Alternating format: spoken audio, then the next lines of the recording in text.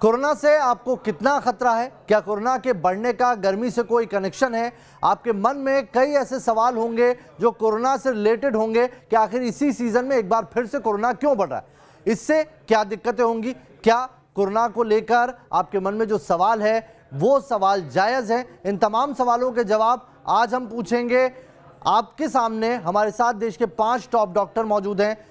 Corona के सवालों पर वो जवाब देंगे। डॉक्टर से बात करेंगे, लेकिन उससे पहले आपको एक रिपोर्ट दिखाते हैं कि कोरोना का खतरा कैसे बढ़ रहा है, कितना बढ़ गया और किन राज्यों में सबसे ज़्यादा इसका असर है।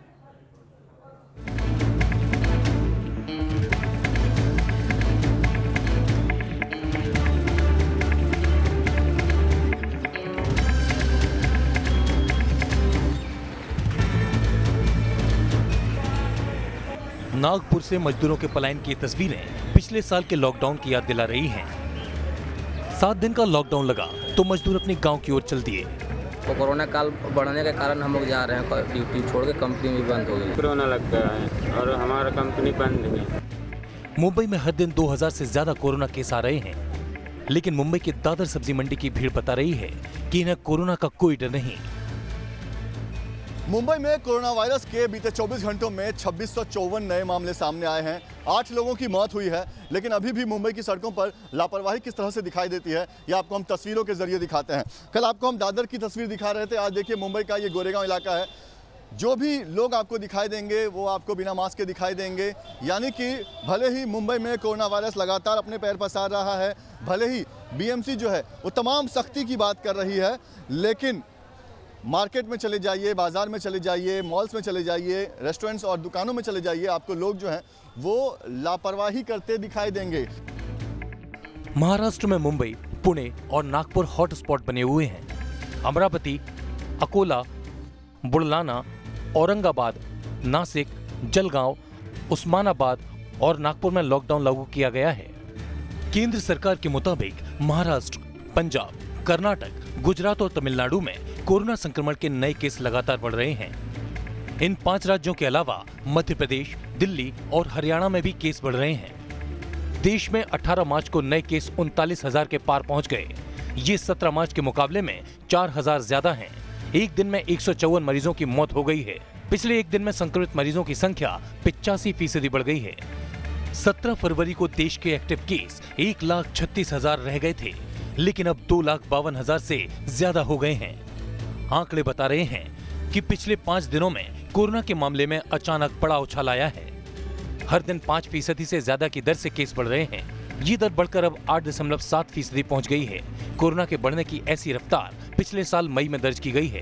तेरह मार्च को देश में पच्चीस हज़ार के करीब केस दर्ज किए गए, जो 18 मार्च को उनतालीस हज़ार से ज़्यादा पहुँच गए हैं। यानी पाँच दिन में 50 फ़ीसदी से ज़्यादा केस बढ़ गए। राहत की बात यह है कि जिस दर से नए केस आ रहे हैं उस दर से डेथ का रेट नहीं बढ़ रहा। दवाई के साथ कड़ाई और कोई लापरवाही ना बरती जाए। हर लोगों को वो बराबर जागरूक करते रहते हैं।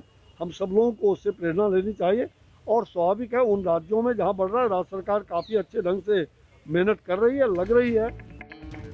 महाराष्ट्र के अलावा राजधानी दिल्ली में भी कोरोना के केसों में बढ़ोतरी का सिलसिला जारी है।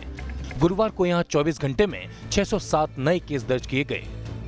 पंजाब में भी 1 मार्च से 17 मार्च के बीच कोरोना के केस में चार गुना बढ़ोतरी हुई।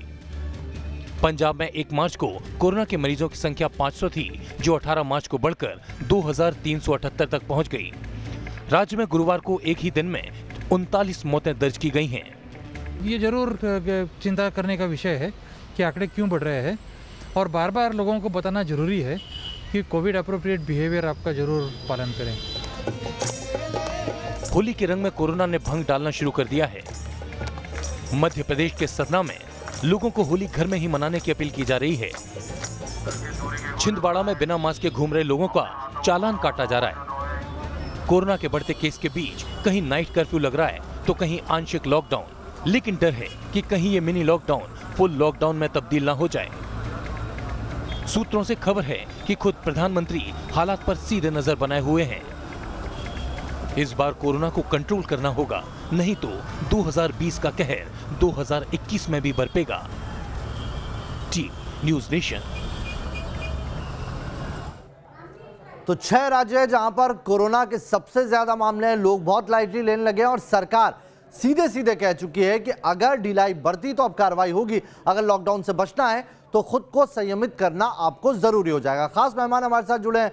पाँच डॉक्टर हमारे साथ इस वक्त जुड़े हुए हैं, जो आपके तमाम सवालों के हम तक जवाब पहुंचाएँगे। डॉक्टर दीपाली भारद्वाज हमारे साथ जुड़ी हुई हैं सीनियर फिजिशियन है। डॉक्टर एमसी मिश्रा हैं, पूर्व निदेशक हैं। एम्स के डॉक्टर के के पांडे हैं सीनियर फिजिशियन है। और डॉक्टर आर के दुवेश सफदरजंग अस्पताल से हमारे साथ जुड़े हुए हैं, वहाँ से हैं। और डॉक्टर श्रुति मलिक हैं हेल्थ एक्सपर्ट उनसे भी बात करेंगे। लेकिन सबसे पहले डॉक्टर दीपाली भारद्वाज, आपके पास मैं आ रहा हूँ और सीधा सा जो अब लोगों के मन में सवाल आ रहा है कि दूसरी बार कोरोना कैसे आ रहा है, नया खतरा है, इसको लेकर ये जो दूसरी लहर है, इसमें छोटे शहरों में ज़्यादा मामले क्यों आ रहे हैं?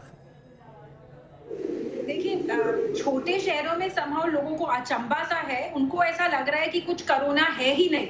और लोगों को वैक्सीन लग गए तो हमें ना लगे तो भी हम ठीक हो जाएँगे। मैं खुद एम्स ऋषिकेश रेगुलरली जाती हूँ और मैंने रिसेंटली नोट किया कि वहाँ गंगा किनारे लोग मास्क ही नहीं पहनते। सो दुख की बात यह है कि सरकार को बहुत स्ट्रॉन्ग कड़े से कड़े स्टेप लेने चाहिए और स्ट्रेट अवे चलान काटना चाहिए ताकि लोगों के अंदर एक डर बैठे कोविड अप्रोप्रिएट बिहेवियर वो अपने कर रहे हैं। उनको ये लग रहा है वो दूसरे पे एहसान कर रहे हैं, पुलिस वाले पे एहसान कर रहे हैं, तब मास्क पहनते हैं। तो ये सोच बदलाव लाना बहुत ज़रूरी है। उसके लिए कड़े से कड़े स्टेप मुझे, मेरी राय है कि सरकार को इस वक्त उठाने चाहिए। यानी कि लापरवाही छोटे शहरों के लोगों में और इसीलिए वहाँ पर ज़्यादा अब मामले देखने को मिल रहे हैं। डॉक्टर श्रुति, ये बताइए कि कोरोना से जो लोग अब तक बच गए, जिन्हें इस कोविड काल में जो अभी तक प्रिकॉशन ले रहे थे या उनकी इम्यूनिटी स्ट्रांग थी, जिनको कोरोना नहीं हुआ क्या इस बार उन्हें ज़्यादा खतरा है? देखिए एक चीज़ हम लोग को बहुत ध्यान रखने वाली है कि जब भी हमारे पैंडेमिक आए हैं हिस्ट्री में वो हमेशा वेव में आते हैं। अगर आप देखिए यूके में कि अगस्त और सितंबर में ये चीज़ बड़े कम केसेस हो गए थे बट फिर से वो केसेस बढ़ने लगी। तो हमें इस चीज़ का ध्यान रखना बहुत इंपॉर्टेंट है कि जिसको नहीं हुआ है ऑब्वियस की बात है सकता है। और दूसरी चीज़ बहुत ध्यान रखने वाली ये है कि हम सब अब क्या कर रहे हैं? हमको लगता है कि जिनको वैक्सीन लग गई है, वो लोग भी खुले बिना मास्क के, बिना सोशल डिस्टेंसिंग के घूम रहे हैं। उससे क्या होता है कि केवल ये नहीं होता कि आपको वैक्सीन लग गई तो आप तुरंत अपने आप को आपको प्रोटेक्शन मिल गया। आपकी एंटीबॉडीज बनने में भी जो है तो दो महीने कम से कम लगते हैं। जब तक आपके दोनों डोजेज नहीं लग जाती, आप पीक अपने एंटीबॉडी रिस्पॉन्स पे नहीं पहुँचते हैं, तब तक आपको मास्क लगाना है। और एक चीज़ और बड़ी इंपॉर्टेंट है कि केवल अगर हम वैक्सीन की भी बात करें तो सिर्फ़ वो सत्तर प्रतिशत तक हमें जो है, वो प्रोवाइड करती है प्रोटेक्शन तीस परसेंट हमें मास्क लगा के सोशल डिस्टेंसिंग करके, अपनी हाइजीन मेंटेन करके उससे ही करना पड़ेगा और ज़्यादा से ज़्यादा लोगों को टेस्ट कराना पड़ेगा। अभी भी लोग क्या कर रहे हैं कि टेस्ट नहीं कराना चाहते। उनको लगता है कोई नहीं, हम घर पे रह के ठीक हो जाएँगे। और वही हमारी ट्रांसमिशन की चेन को बढ़ा रहे हैं, वही और केसेस आगे बढ़ा रहे हैं। तो अगर हम टेस्टिंग को बढ़ाते हैं, अपने प्रॉपर प्रोटेक्शन लेते हैं तो हम इस साइकिल को भी ब्रेक कर सकते हैं और केसेस आप देखिएगा धीरे धीरे डिक्रीज होने लगेंगे। तो नए जो लोग हैं जो अब तक बचे हुए हैं, उन्हें और एहतियात बरतने की ज़रूरत है। डॉक्टर एम सी मिश्रा, ये बताइए कि अभी तक जो लोग कोरोना पॉजिटिव हो चुके हैं, एंटीबॉडी थी, लेकिन एक टाइम पीरियड तक एंटीबॉडी होती है, क्या वो दोबारा कोरोना से संक्रमित हो सकते हैं? और अगर इस बार होंगे तो क्या खतरा ज़्यादा बड़ा होगा? देखिए, जो मुख्यतः तीन कारण हैं, जो ये संक्रमण बढ़ रहा है महाराष्ट्र में, केरला में, पंजाब में, चंडीगढ़ में और बाकी जगहों पे, मध्य प्रदेश में भी बढ़ रहा है। बढ़ तो सभी जगह रहा है थोड़ा थोड़ा लेकिन जो क्लस्टर्स ज़्यादा हैं, वो महाराष्ट्र में है, केरला में है और पंजाब में है चंडीगढ़ में है। उसका एक बड़ा कारण ये भी है कि पंजाब में भी बहुत विदेश से लोग आते हैं और महाराष्ट्र में भी बहुत विदेश से, केरला में भी विदेश से बहुत लोग आते हैं और फिर वहाँ से बाकी देश में जाते हैं तो वो लोग फिर संक्रमण फैलाते रहते हैं। क्योंकि जैसे आपने देखा, अगर हम और अब इस समय हम ये भी नहीं कह सकते सारा संक्रमण बाहर से आ रहा है, ये हमारा इंडिजिनस भी है, भारत का ही है। अब इसमें एक तो जो सबने डॉक्टर श्रुति ने भी बताया और डॉक्टर दीपाली ने भी बताया, वो कारण है कि लोग, ये मान लिया लोगों ने कि कोविड समाप्त हो गया और दस हज़ार, लेकिन मैं हमेशा ये कहता था कि भाई समाप्त नहीं हुआ है, हम ज़ीरो पे नहीं पहुँचे कभी भी। दस हज़ार संक्रमित रोगी प्रतिदिन आ रहे थे जब से केस बढ़ना शुरू हुए। तो ये लोगों ने कैसे मान लिया कि कोविड समाप्त हो गया? और ये मेरे अपने कोलीग्स जिस हॉस्पिटल में मैं जाता हूँ वहाँ पे लोग और बड़े सीनियर सीनियर लोग ये कह रहे थे अब तो ठीक हो गया अब सब खत्म हो गया।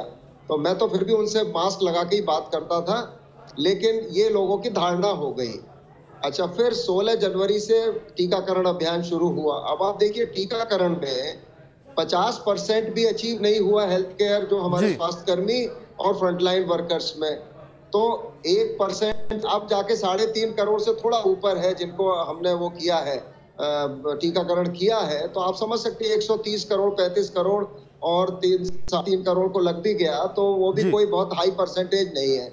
लेकिन हाँ ये बात ज़रूर है कि जितने सीरो सर्वे हुए हैं चाहे वो मुंबई में हुए हैं चाहे दिल्ली में हुए चाहे और जगहों पे भी हुए हैं उनमें जो पॉजिटिविटी आई है सीरो सर्वेज में वो पचास उनसठ उनचास परसेंट से बासठ परसेंट तक है। दिल मुंबई में भी पचास परसेंट तक है। तो बहुत सारे लोगों को संक्रमण हो चुका है और उसके बाद ठीक हो गया है। और अब जो संक्रमण हो रहा है उसकी एक बड़ी वजह म्यूटेशंस भी म्यूटेंट वायरस का म्यूटेंट होना है इसीलिए इसीलिए। हाँ बिल्कुल। जी। और वो बहुत तेज़ी से फैलता है। यूके में भी हमने देखा साउथ अफ्रीका में भी देखा बहुत तेज़ी से फैलता है। लेकिन उसके अनुपात में हॉस्पिटलाइजेशन हॉस्पिटल में एडमिशन मतलब डॉक्टर मिश्रा इसका मतलब ये है कि जो लोग पहले संक्रमित हो। चुके हैं इस बार अगर वो संक्रमित होंगे तो सिम्टम्स में भी बदलाव हो सकते हैं।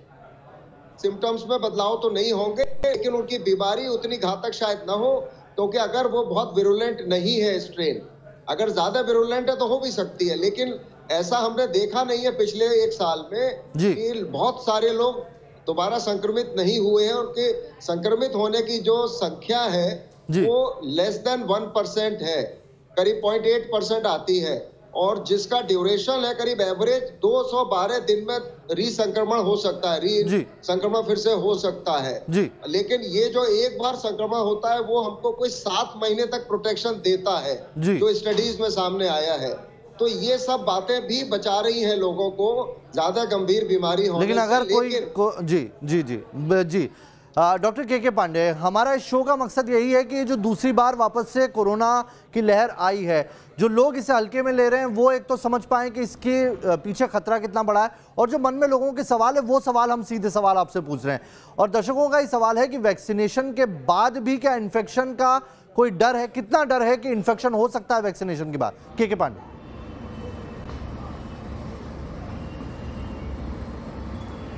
देखिए ये सवाल अभी इसका आंसर नहीं है। मैं अभी देख रहा था कि मॉडर्ना की जो वैक्सीन है जो फाइजर की वैक्सीन है जी।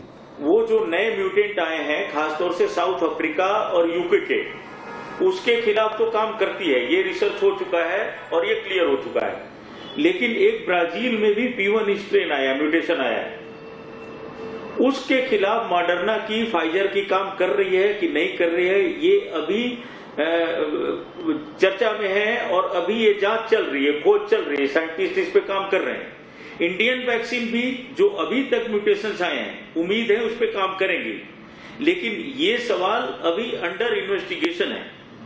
साइंटिफिक कम्युनिटी इसको जाँच कर रही है और जैसे जैसे केसेज और मिलेंगे, पता लगेगा कि ये काम कर रहे कि नहीं। लेकिन ज़्यादा उम्मीद है कि जो एंटीबॉडीज बनी है, ये नई वायरस म्यूटेशन जो है उसके खिलाफ काम करेगी। तो ऐसी कोई घर डरने घबराने की बात नहीं है लेकिन सावधानी एहतियात पूरी बरतने लेकिन इन्फेक्शन का लेके जो लोगों के मन में सवाल है कि वैक्सीन अगर लगवाया कोई इन्फेक्शन हो गया इसके साइड इफ़ेक्ट होंगे उस डर का कैसे जवाब दे लोगों को?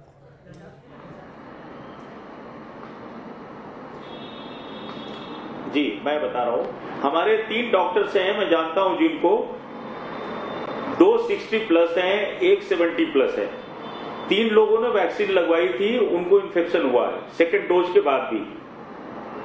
और तीनों में से कोई हैं और 20 प्लस वाले को भी कोई ज़्यादा सिम्टम्स नहीं हुए। तो एक सबसे बड़ा फ़ायदा जो वैक्सीन लगाने का है जो हम बार बार इम्फेसाइज करते हैं कि अगर वैक्सीन लगाने के बाद किसी को बीमारी हो भी जाती है जी। तो आदमी बीमार नहीं पड़ेगा सीरियस नहीं होगा उसको हॉस्पिटलाइजेशन नहीं होना पड़ेगा। यानी वैक्सीन वैक्सीन बहुत ज़रूरी है। अगर आप इन्फेक्शन क्योंकि कोई सा भी दूसरा भी आप इलाज करते हैं तो उसमें भी आपको थोड़े साइड इफ़ेक्ट होते हैं। अगर वैक्सीन का साइड इफ़ेक्ट आप सोच रहे हैं तो बहुत मामूली है लेकिन आपको वैक्सीन लगानी बहुत ज़रूरी है। तो कोरोना की दूसरी लहर आई है क्या लॉकडाउन भी लौटेगा? और अगर लॉकडाउन को नहीं लौटवाना है तो क्या आप अपने हिसाब से मास्क लगा रहे हैं? वो तमाम गाइडलाइंस से उनका पालन कर रहे हैं और क्यों करना ज़रूरी है, इसी के लिए हमारे साथ अलग अलग डॉक्टर्स मौजूद हैं और उनसे हम आपके जहन में आने वाले सवाल पूछ रहे हैं। डॉक्टर दीपाली क्या अब सभी लोगों को वैक्सीन लगनी चाहिए? क्योंकि अभी तक हमने दो चरण जो है वो लॉन्च किए हैं। एक हमने पहले फ्रंटलाइन वॉरियर्स को लगाई, उसके बाद अब 60 साल से ज़्यादा लोगों को, जिनकी उम्र है उनको लगा रहे हैं और 45 साल में जो मॉर्बिड है उनको लगा रहे हैं। अब क्या बाकी लोग जो 18 साल से ऊपर जिनकी उम्र है, आयु है, उन्हें नहीं लगनी चाहिए वैक्सीन बिल्कुल लगनी चाहिए और मुझे लगता है बहुत तेज कदमों से वैक्सीन हर एक के घर तक पहुंचनी चाहिए। एंड लोगों के अंदर जो भय है कुछ लोग कंपेयर कर रहे हैं फाइजर मदरना जो डॉक्टर्स नहीं है वो भी जो मैं खुद एक सीनियर फिजिशियन होते हुए इम्यूनोलॉजी जिस नहीं हूँ। मैं एक वैक्सीन एक्सपर्ट नहीं हूँ बट एक सीनियर हेल्थ एक्सपर्ट ज़रूर हूँ। तो मेरा ये कहना है कि इम्यूनोलॉजिस्ट का काम है साइंटिस्ट का काम है, लोग वैक्सीन का ना पता करके जिसको जब मिल पाए, अपनी सरकार पे उन्हें भरोसा करना चाहिए। जब नजदीकी देश हमारी वैक्सीन लगा रहे हैं, ये हमारे लिए एक फकर का समय है, और हम सबको आगे जुड़ के वैक्सीन लेनी चाहिए, क्योंकि बहुत लोगों में फालतू का भय है, और लोगों के मन में है, इसने ले ली तो मुझे नहीं होगा मेरे ऑफ़िस में।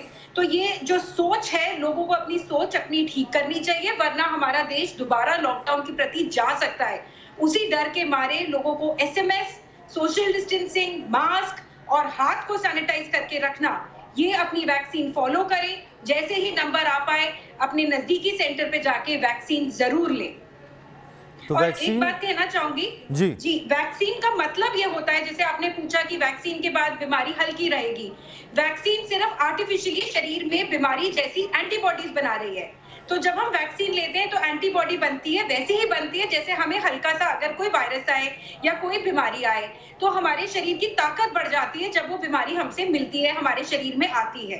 इसीलिए वैक्सीन के अगेंस्ट लोगों के अंदर जो डर है जो सोच है कि ये वैक्सीन ठीक नहीं है लेनी है नहीं लेनी है आपका जैसे ही नंबर आए मेरी राय है आप जाएँ और कोविशील्ड या कोवैक्सीन जौन सी आपको नजदीकी सेंटर पे मिले उसको लें।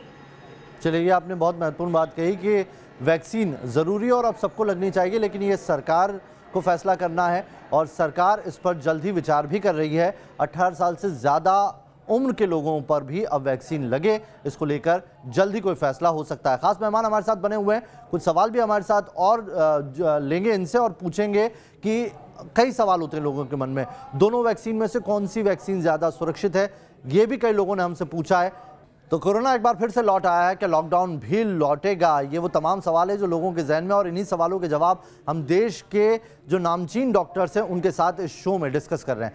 जाए उनके पास और सवाल जाने उनसे, लेकिन उससे पहले एक बड़ी खबर पंजाब से आ रही है। कोरोना के बढ़ते केसेस पर पंजाब सरकार ने बड़ा फैसला लेते हुए 31 मार्च तक तमाम स्कूल कॉलेज बंद कर दिए हैं। कॉलेज की परीक्षाओं की तारीखें भी आगे बढ़ा दी गई हैं। पंजाब कांग्रेस ने दो हफ़्ते तक सभी कार्यक्रम भी अपने रद्द कर दिए हैं। साथ ही जानकारी ये निकल के आ रही कि मामले लगातार बढ़ते जा रहे हैं। पूर्व मुख्यमंत्री प्रकाश सिंह बादल भी कोरोना पॉजिटिव हो गए हैं। आपको बता दें कि जो कोरोना की दूसरी वेव है, उससे रोज़ाना मामलों में इजाफा होता जा रहा है। 24 घंटे में आने वाले केसेस में लगातार बढ़ोतरी होती जा रही है। सबसे ज़्यादा महाराष्ट्र जो है, वो इफ़ेक्टिव, इफ़ेक्ट कर रहा है। उसके बाद पंजाब, केरल, गुजरात और दिल्ली, सभी की हालत ख़राब है।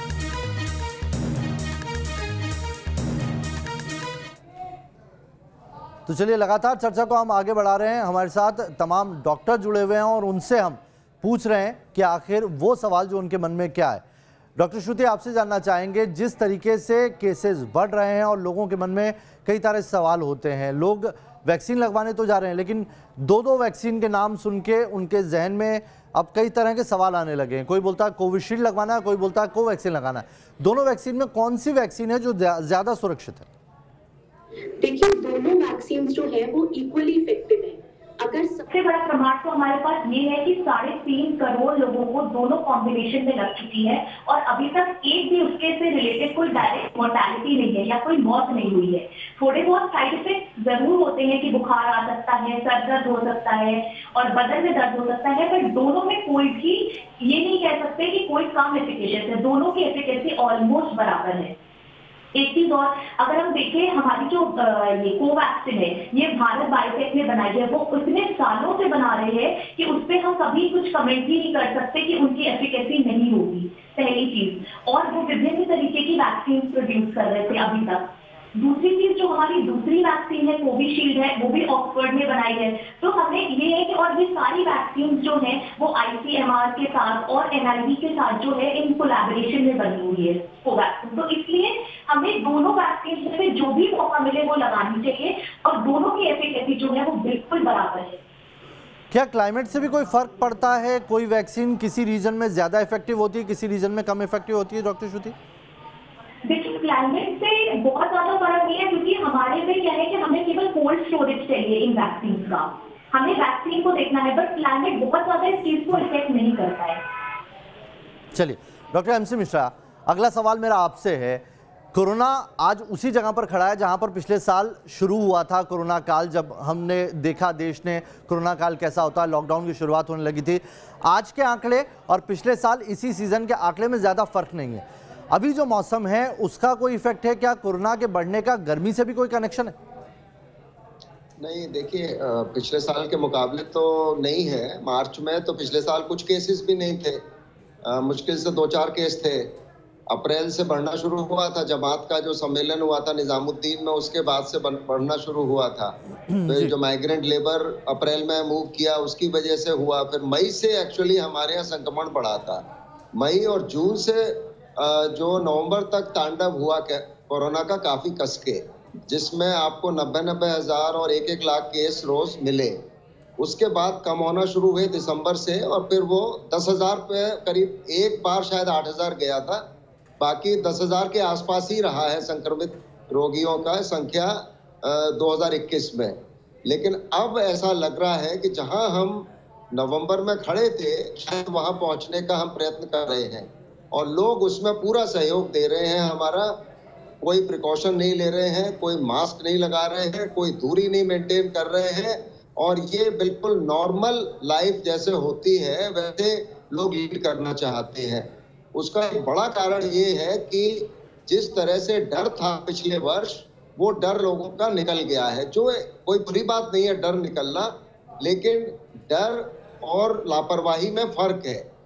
तो जब भी बाहर जाए, लोग मास्क फिर भी लगाने की प्रयत्न करें। बड़ी साधारण प्रक्रिया है ये।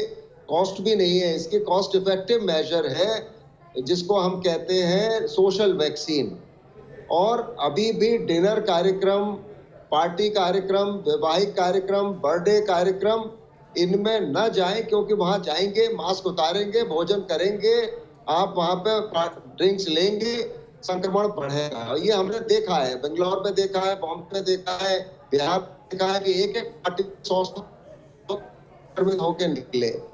यानी सीधे सीधे इसका ताल्लुक लोगों की लापरवाही से। गर्मी से इसका कोई लेना देना नहीं है बदलते मौसम से, से इसके अंदर कोई मतलब फ़र्क नहीं पड़ रहा है।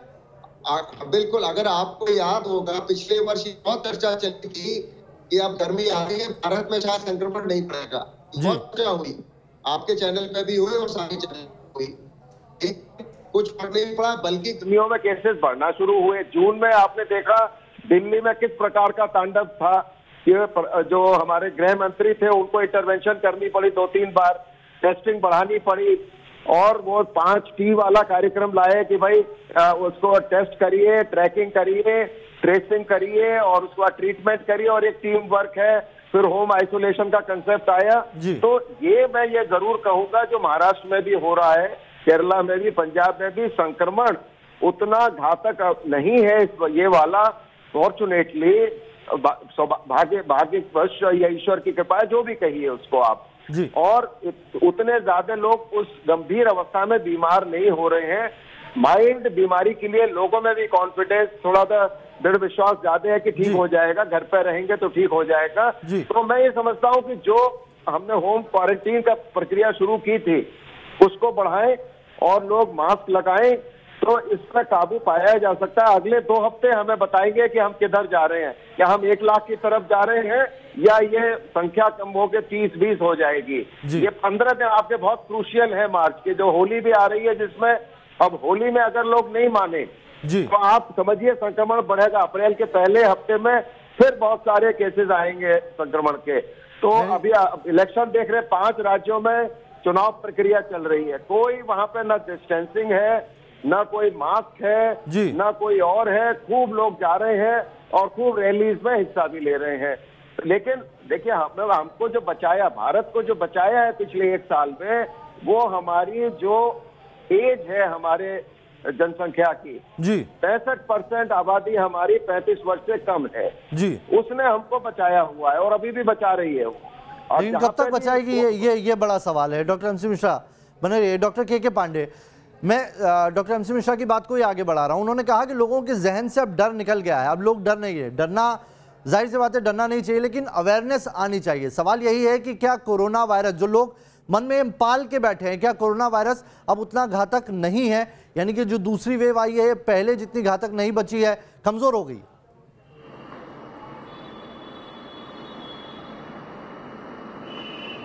नहीं ऐसा कुछ भी नहीं है। अभी क्या है कि मेडिकल फैसिलिटीज़ अवेलेबल है सब जगह डॉक्टर्स अवेयर हैं लोगों को भी पता है कब हॉस्पिटल जाना है। और कुछ इम्यूनिटी देखिए बहुत सारे लोग जैसे इम्यूनोलॉजिकल जो टेस्टिंग हुई थी सर्विलांस के लिए टेस्टिंग हुई थी सर्विस हुए हैं उसमें 35 से 50 परसेंट तक जैसे बॉम्बे में सबसे ज़्यादा लोग पाए गए थे कि उनमें ऑलरेडी इम्यूनिटी है एंटीबॉडीज थे। लेकिन इसका ये मतलब नहीं है कि लापरवाही बरती जाए। अगर लापरवाही बरतेंगे तो बीमार तो पड़ेंगे लेकिन उतनी बीमारी नहीं होगी क्योंकि बहुत सारे लोग इस बीमारी से बीमार हो चुके हैं। एक जो बहुत ससेप्टेबल पॉपुलेशन है जो सीरियस वाली पॉपुलेशन हो सकती थी 60 प्लस वाली और 45 प्लस वाली उसमें भी तीन करोड़ से ज़्यादा लोगों को वैक्सीन लग चुकी। जी। तो इस वजह से इम्यूनिटी है स्कूल कॉलेजेज अभी ज़्यादातर बंद कर रहे, बंद चल रहे हैं। बहुत सारे जो ऑफिसेज हैं ऑनलाइन चल रहे हैं। तो इस वजह से है, लेकिन ये सोच करके कि ये नहीं करेगा, क्योंकि देखिए, सबसे बड़ी जो खतरनाक बात है, कोविड वैक्सीन में मैंने मरीजों में भी देखा, डॉक्टरों में भी देखा है, कि आपको ये नहीं पता लगता कि किस मरीज़ में बीमारी क्या कोर्स लेगी। कोई मरीज़ खाली खांसी, जुकाम, बुखार करके दो चार दिन एडमिट रख के चला जाता है। उसी में से कोई मरीज़ महीनों तक भर्ती रहता है कई हफ़्ते भर्ती रहता है और वेंटिलेटर पे चला जाता है बाद में सरवाइव भी नहीं कर पाता। जी। तो किसी भी आदमी को लापरवाही तो बिल्कुल नहीं बरतनी चाहिए क्योंकि बीमारी क्या कोर्स पकड़ेगी किसमें क्या होगा ये कहना बड़ा ही मुश्किल है। और किसी भी डॉक्टर को किसी भी साइंटिस्ट को ये चीज़ नहीं पता। उसके बहुत सारे फैक्टर्स हैं। तो लोगों को रिस्क नहीं लेना चाहिए। रिस्क बिल्कुल नहीं लेना चाहिए। डॉक्टर एमसी मिश्रा, आपसे मैं अगला सवाल जानना चाह रहा हूँ, क्या स्पेनिश फ्लू जिस तरह से फैला था, स्पेनिश फ्लू की तरह ही जो दूसरी लहर है कोरोना की, वो भी बहुत तेज़ी से फैली, क्योंकि स्पेनिश फ्लू ने दूसरी लहर में बहुत तबाही मचाई थी। बिल्कुल, अभी फॉर्चुनेट है हम, अभी थोड़ा कि उतना गंभीर बीमारी इन्फेक्शन और बीमारी में फ़र्क करना पड़ेगा इसमें। अभी जो संक्रमण हो रहा है वो इन्फेक्शन तो कर रहा है जी। पर उतनी घातक बीमारी नहीं कर रहा है। तो जो भी वजह है उसकी वो तो वैज्ञानिक बताएँगे टेस्ट करके ये म्यूटेशंस क्योंकि म्यूटेशंस जब भी होते हैं देखिए एक म्यूटेशन होता है जो ड्रिफ्ट होता है थोड़ा सा एक कदम एक स्पाइक प्रोटीन का उसने साइट बदल ली अपनी। एक होता है कि पूरा जेनोमिक स्ट्रक्चर बदल जाता है वायरस का वो शिफ्ट होता है। अब इस पे तो वैज्ञानिक बता सकते हैं कि जो महाराष्ट्र में इतना हो रहा है ये क्या है? और कौन सा इसमें म्यूटेशन है? लेकिन ये बात ज़रूर देखने में आ रही है जो आंकड़े जिस तरह से बता रहे हैं कि मृत्यु दर उतना नहीं है। जैसे आपने देखा भारत में भी आठ आठ सौ लोगों की मृत्यु प्रतिदिन हुई है हम लोगों ने रिकॉर्ड की है। जी। अभी सौ डेढ़ सौ करीब प्रतिदिन हो रही है। और महाराष्ट्र में भी मैं देख रहा था कि पिछले 24 घंटों में कोई बहुत ज़्यादा संख्या नहीं है मृत्यु की। अच्छा हॉस्पिटल एडमिशंस अभी बहुत कम हो रहे हैं अभी भी।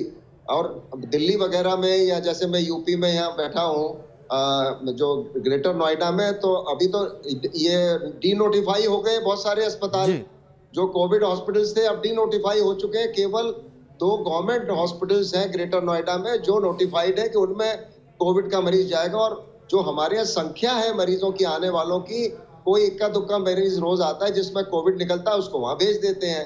तो ये अभी हम लोग फिर भी बेहतर स्थिति में है ये इसीलिए डॉक्टर पांडे ने भी वही कहा। हम सब यही कह रहे हैं कि अगर हमें पुरानी अवस्था में नहीं पहुँचना है तो ये हमें बचाव के जो उपाय हम कर रहे थे पूरी साल से वो करते रहिए। और मैं तो ये भी कहता हूँ जब आपका ये मास्क लगा होता है मुँह पे तो आपका हाथ स्वतः मुँह पे नहीं जाता है। तो वो सरफेस ट्रांसमिशन थोड़ा बहुत जो होता है वो भी नहीं होगा। पोल्यूशन से भी आप बचते हैं। अच्छा मैं तो दो मास्क देखिए मेरे पास रहते हैं ये हमेशा।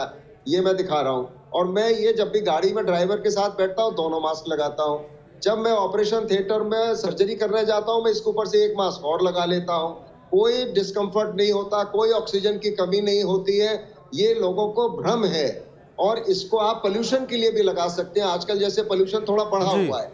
तो वो उससे भी बचाव एक पंथ दो काज कर रहा है ये कोरोना से भी बचा रहा है पोल्यूशन से भी बचा रहा है। वक्त बस जागने की है। एक छोटा सा ब्रेक यहाँ पर लेना होगा लेकिन ब्रेक के उस पार सबसे महत्वपूर्ण सवाल बाकी है अभी।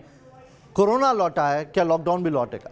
तो कोरोना के मामले जो बढ़ रहे हैं वो डरने की ज़रूरत है क्योंकि अगर मामले ऐसे ही बढ़ते रहे तो हम फिर उसी सिचुएशन में पहुँच जाएँगे जहाँ से लौटने के लिए हमने बहुत मेहनत की है। और अब वो सवाल जिसका आप सबको इंतज़ार था डॉक्टर श्रुति आपसे सीधा सवाल है मेरा। हालात जिस तरीके से बिगड़ रहे हैं, उसे देखकर क्या लगता है, क्या दोबारा लॉकडाउन लगेगा? और अगर न, ये, क्या एकमात्र यही एक रास्ता अब दिखाई पड़ता? है देखिए, सबसे इम्पोर्टेंट ये बात जाननी है कि हम लोग को बिल्कुल भी ये नहीं सोचना चाहिए कि कोरोना चला गया है। हमें अभी भी अगर हम अपने डेटा को देखें तो लास्ट ईयर जुलाई में छब्बीस हज़ार केसेस हो रहे थे और इस साल 2021 में फिर मार्च में छब्बीस हज़ार केसेस है। इसका मतलब कि ऑब्वियसली कोरोना है हमारे बीच में। बट इसका सिर्फ़ और एक तरीका यही है कि हम तीन चीज़ों का ध्यान रखें। सबसे पहले टेस्टिंग जितनी हो सके उतनी करें। दूसरी चीज़, हम प्रिकॉशंस हर तरीके के लिए सोशल डिस्टेंसिंग मेंटेन करें मास्क लगाएँ हैंड हाइजीन को फॉलो करें। और तीसरा, जिनको अपॉर्चुनिटी मिल रही है, वो सब वैक्सीन लगवाएँ। बिना ये सोचे हुए कि कौन सी वैक्सीन अच्छी है, कौन सी खराब है, क्योंकि दोनों की एफिकेसी अच्छी है। और एक चीज़ बहुत इंपॉर्टेंट है कि हम लोग को कोई भी ये थॉट्स नहीं लाना अनजस्टिफाइड थॉट्स की वैक्सीन से कोई उसके हजार्ड इश्यूज़ हो सकते हैं या उससे डेथ्स हो सकती हैं। तो अगर हम अपने आप को पॉजिटिव रख के सोचेंगे, हम वैक्सीन अपना जिस, जो भी एज ग्रुप है, जिसको अभी अपॉर्चुनिटी मिल रही है, वो लगवाए वैक्सीन और आगे भी आने वाले लोगों को जिनको लगता है बिना डरे हुए वो वैक्सीनेशन करें प्रिकॉशंस ले और अगर जिसको हो रहा है वो मैक्सिमम टेस्टिंग करवाएँ ताकि हम अपनी ट्रांसमिशन चेन को काट सके। अगर हमने इन तीन चीज़ों का ध्यान रखा तो हम लॉकडाउन से रोक सकते हैं। देखिए लॉकडाउन अगर होना ही एकमात्र सोल्यूशन नहीं है अगर लॉकडाउन होता है तो लोगों की पर्सनल भी अपनी इकोनॉमी हिलती है और देश की तो इकोनॉमी हिलती है। तो अगर हम लोग चाहते हैं कि हम वापस से यू टर्न लेके उस जंक्शन पे ना जाए जो हमने पिछले साल देखा जिस तरीके की हमने बीमारियाँ और केसेस बढ़ते हुए देखे जिस तरीके से मोर्टेलिटी बढ़ रही थी जिस तरीके से नंबर ऑफ़ केसेस बढ़ रहे थे अगर हम इन सब चीज़ों का ध्यान रखेंगे तो ऑब्वियसली हम लॉकडाउन को भी बिना करे हुए भी हम अपने केसेस कम कर सकते हैं और अच्छे तरीके से हम आगे बढ़ सकते हैं। चलिए बहुत बहुत शुक्रिया आप सभी का हमारे साथ जुड़ने के लिए और ये तमाम सवालों के जवाब हम तक पहुँचाने के लिए doctor Shruti, doctor M C Mishra, doctor K K Pandey बहुत बहुत शुक्रिया आपका तमाम जवाब देने के लिए।